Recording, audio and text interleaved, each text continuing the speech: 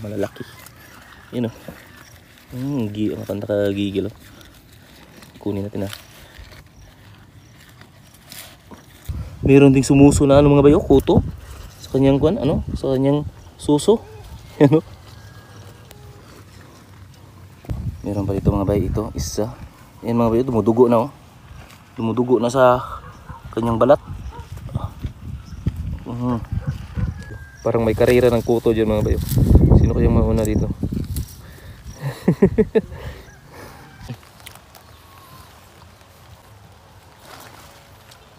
Ito mga bayo, buhay pa. Mm. Oh, barbecue! Welcome mga bay sa Buhay Probinsya at sa pagbabahagi ng aking gawaing bukid. Dito pa rin sa Bantayan Island na probinsya ng Cebu. Sabi niyo ito ngayon mga bay ay pupuntahan natin yung ano, yung alaga kong baka na sila Miat. Kasi may nakita ko sa kanyang mga balahibo na mayroong mga kuto na malalaki, yung tinatawag na grapata. Pero bago natin siya puntahan mga bay ay kuha muna tayo ng mga dahon-dahon dito.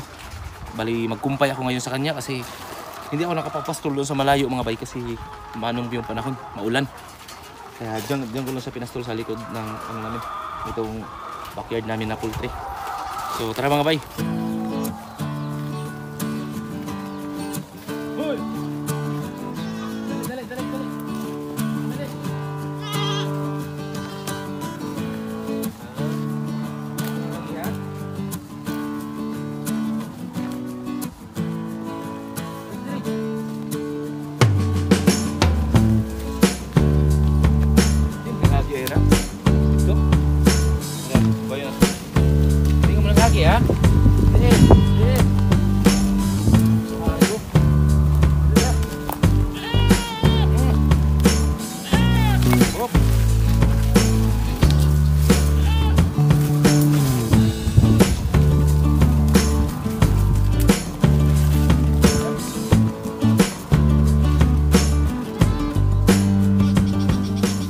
Ayun mga bay, nakapasok yung ano, dalawa kong kambing na maliliit. Dito dito sila dumaan mga bay.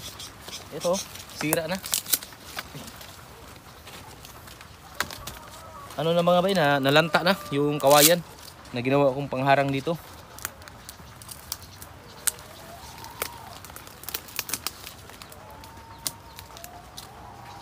Bali ayusin ko lang to mamaya mga bay. Pagkatapos ko doon sa ano, sa laga kong baka. Kasi kinakain to mga ano namin, pananim. Ito. Dito kami nagtatanim ng mga kamuting kahoy mga bay. Kaya pag nakapasok sila dito, yung mga maliliit na kambing, pinakain nila yung mga dahon. Ayusin ko yan mamaya. Tara mga bay, kukuha muna tayo ng pangumpay dito.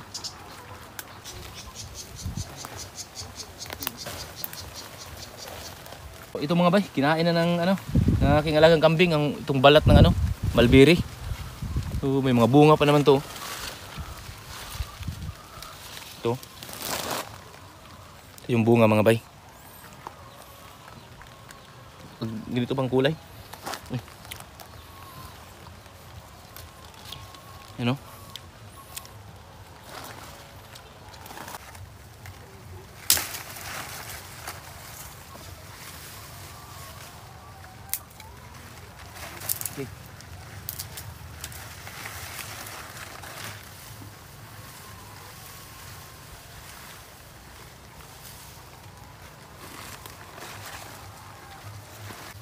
medyo mataas ng ipil-ipil mga bay kaya binali ko na. Upang tumubo ulit ng bago. Kasi hindi ko siya hinayaan na tumaas mga bay. Itong mga ipil-ipil na tinanim ko dito. Kunti pa lang yan pero daragdagan ko yan mga bay.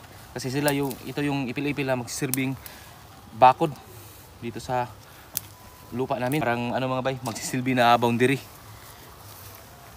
Kasi wala ang wala kaming budget pang pagpagawa ng bakod. Yung konkreto. At pag ito mga bay ay pag tumaas to na masyado tatabunan niya yung ano mga pananim diyan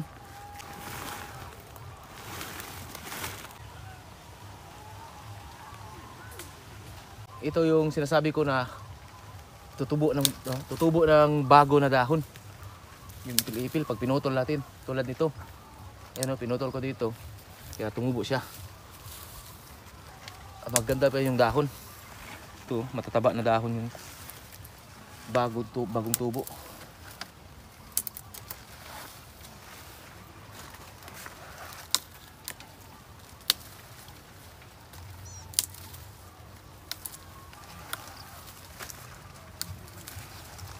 Ito mga bay madre agwa Itinanim ko to mga bay kasi nag-alaga ako ng baboy dati.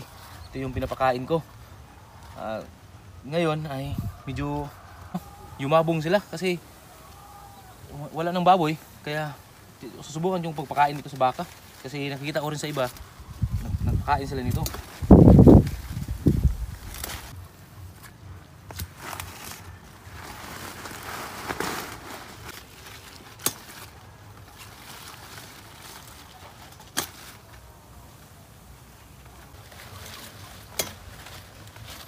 Iwan ko lang mga bay kung kaka- kakain ba dito si Lamyat. Hindi ako sigurado pero subukan ko lang. Kaya ito lang muna, kunti lang muna ang dadalhin natin.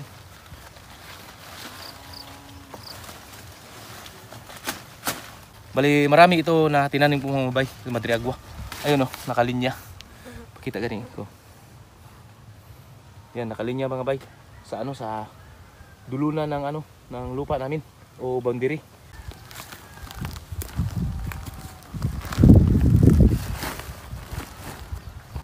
Ah, ito mga bay no, Malbiri. Kukuha rin tayo nito. Kasi medyo mataas na siya. Mas maganda kasi sa Malbiri mga bay na pinuputal natin yung mga maliliit na sanga.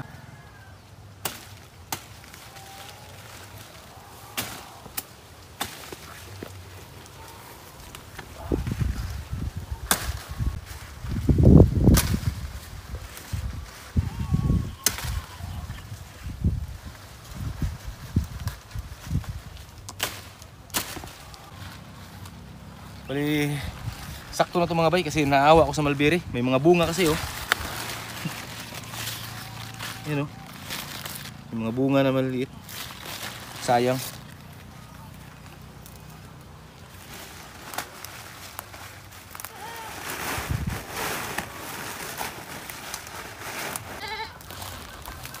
Ito mga bay.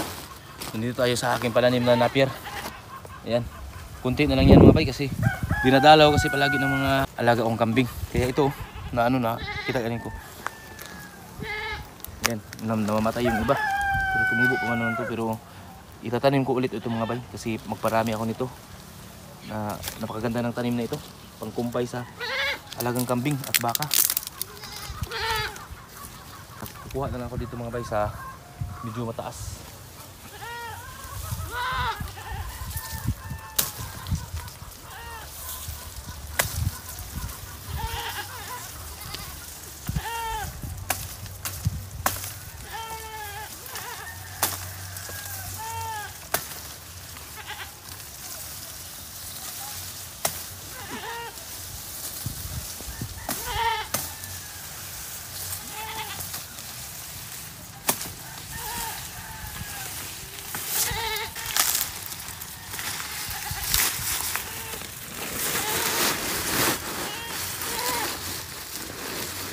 Kasi itong harang mga bay.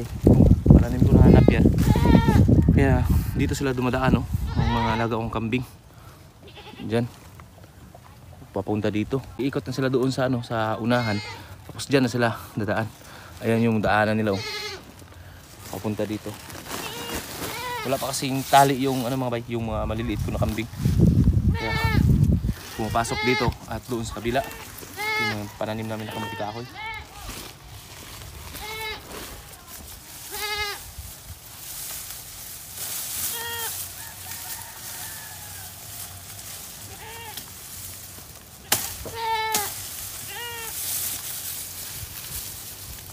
Ito mga bay.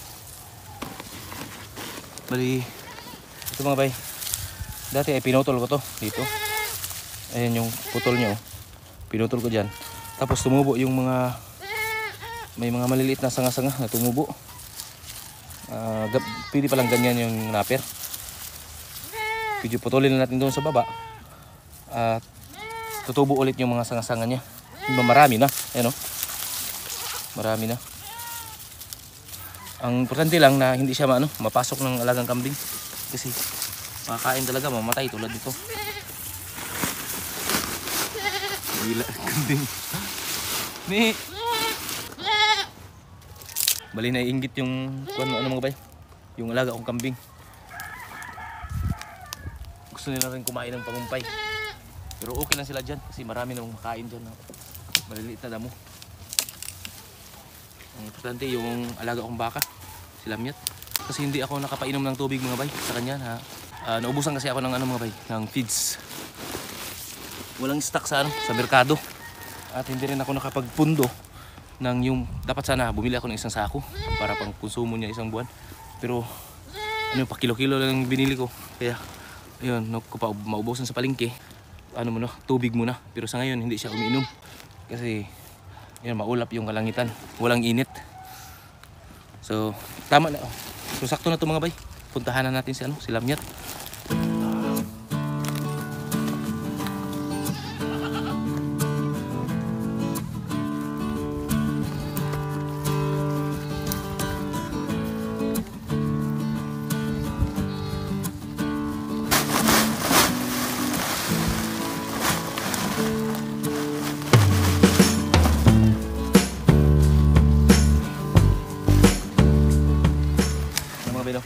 No? Susubukan ko muna to mga bay na ipakain sa kanya. Itong Madrid de Agua.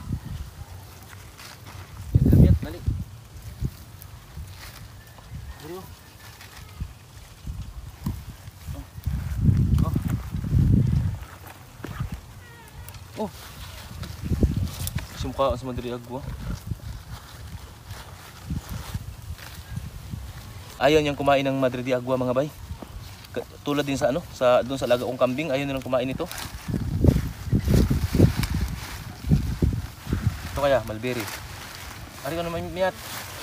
Mulberry miyat. Psst, Mulberry. Oh, mulberry oh. Gusto niya talaga ito mga bayo, ipilipil kaya ito yung gusto kong paramihin na itanim. Kahit yung kambing. Pero meron din tayo mga bay na nagsasawa sila nito. Iniiwan lang. Yan o. Ito kasi sa mga bay ay uhaw sa ano, dyan sa pananim na yan, sa ipil-ipil. Kasi yung kinakain niya ay ito lang. Ito. lang yung kinakain ng mga bay. Mga damo. Tulad nito. oh. Balili. Ito balili yung tawag dito sa amin. Kanina mga bay, nung parating kami dito ay merong ibon dito na puti. Yung mga malalaking ibon. Ang tawag dito, na, ang tawag niya sa amin dito ay ano, tuwabong yung, yung ibon na yun ay nangangain ng kuto ng baka. Kaya habang papunta ko dito kanina, lumip, lumipad na. Hindi ko na ano, hindi, dapat sana nakunan ko ng ano, ang video. Takot kasi sa tao yung mga ibon na yun mga bay. Kaya malayo ka pa lang, ano na, lumipad na. Ito mga bay no, manguha tayo ng kuto. Dito. Wala na ako masyado napansin na kuto mga bay. Ilamyat. Kasi kinain na ng ano, ng ibon. Ayan na lang oh. Ayan. Kuto. Malaking kuto. Ito mga bay. Ayan oh. Malaking kuto nito. Kuto ng baka. Maghanap pa tayo dito sa ilalim. Miyat. Ah. Sa kanyang didi oh. Meron ding sumuso na ano mga bayo, kuto sa kanyang kuan ano sa kanyang suso ano kunin ko to. May mga maliliit mga bay. Hindi ko hindi ko masyadong maano hindi ko makakuha kasi nakapatin naka naka ang tindi ng kapit. Yan o laking kuto. Mga ku- kunin ko yun mamaya mga bay. Dito muna unahin natin. Wala na dito oh. pero mayroong mga maliliit. Kaya pag pag sumikat yung araw mga bay pag uminit na ay ano na papaliguan na natin to ng shampoo to kuto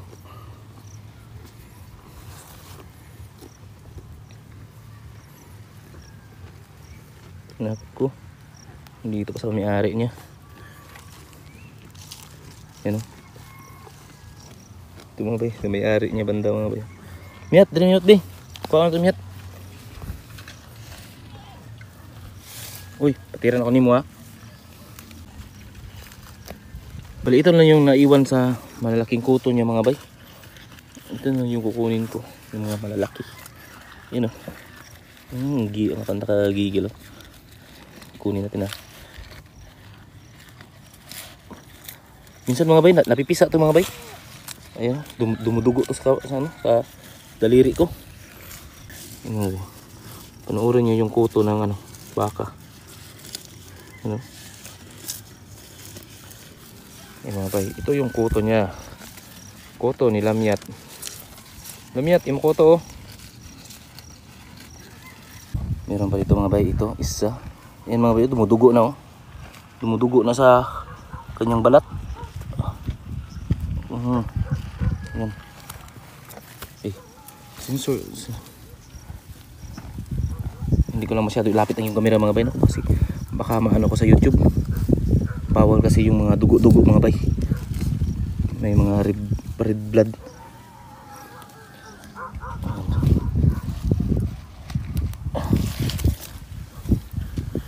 Ano miyat? Ano eh? Ito pa. Ito yung isang malaki. Ito na yung naiwan mga bay na malaki. Hmm, busog na busog. Busog na busog talaga to. Kasi kahapon pa to sila nakasipsip. Ang bilis lumaki. Napansin ko lang mga bay no, pag medyo malamig yung panahon, mabilis lumaki yung kuto ng mga alaga nating baka. Biro mga maliliit mga bay. Yan o, nag- parang nagkasugat-sugat mga bay. oh. Yung balat niya. Yan, parang nagkasugat-sugat. Dahil yun sa kagat ng mga kuto. Tingnan nyo yung mga maliliit mga bay. Ito yung mga maliliit. Yan. Ano, anuhin natin to. Pag eh, uminit na yung panahon.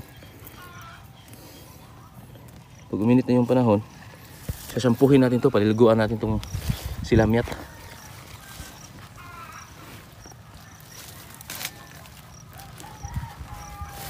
Oh, Yan. Napaktapakan na yung ang pangumpay. Ipil-ipil lang yata yung kinain mga bay at yung naper.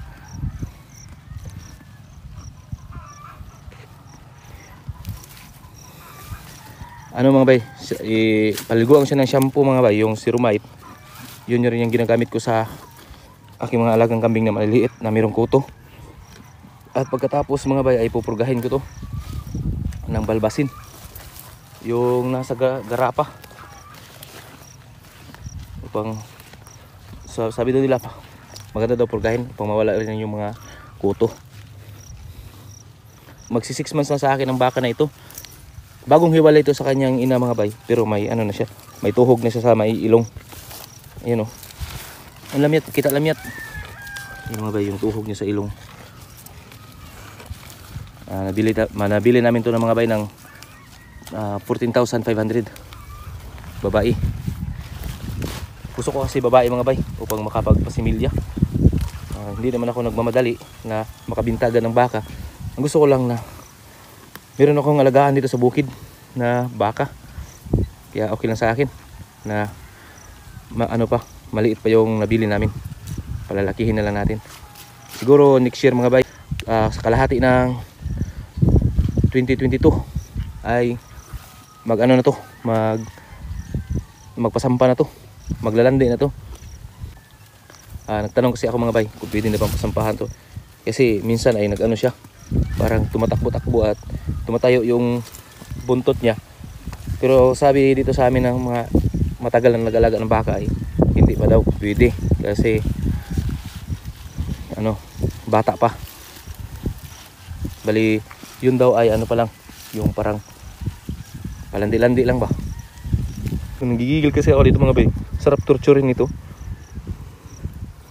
Ayan o, naglalaro, naglalaro pa, nag-uunahan. Mga bayo. Parang may karera ng kuto dyan mga bayo.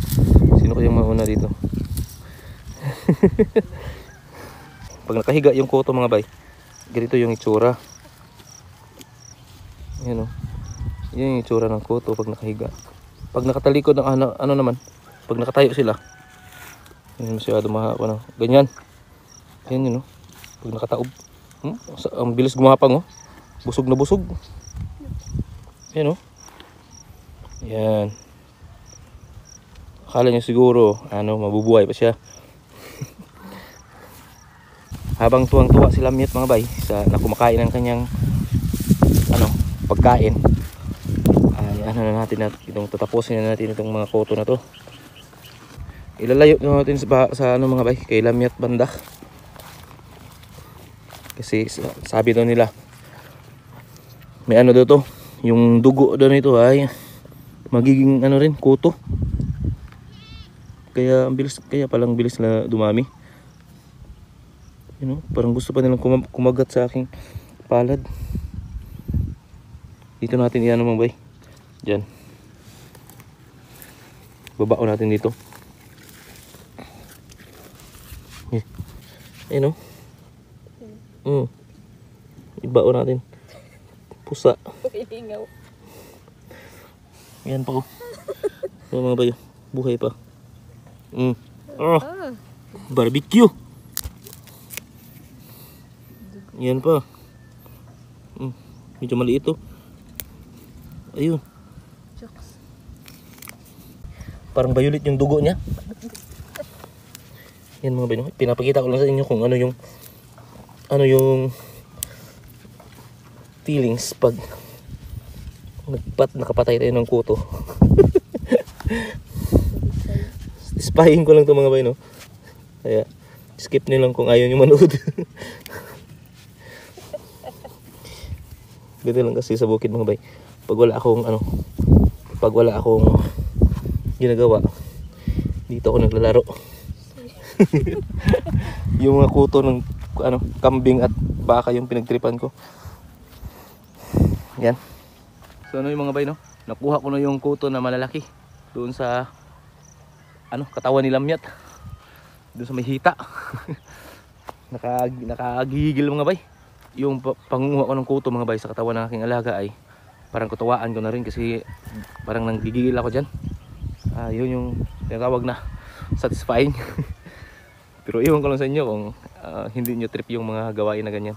Sinishare ko lang rin dito sa aking YouTube channel pa- para sa pagbabahagi ng buhay probinsya at ng aking mga gawaing bukid. So ganyan lang mga bay. Ah, aliw-aliw lang dito sa probinsya. Wag masyadong malungkot. Meron naman tayong mga tunay na kaibigan, yung mga alaga natin. Yan yung baka. At doon, yung mga alaga kong kambing at manok. at dito ko na lang tatapusin ang video ito mga bay no. Maraming salamat po sa panonood at sa pagsuporta. God bless po para sa ating lahat. Bye!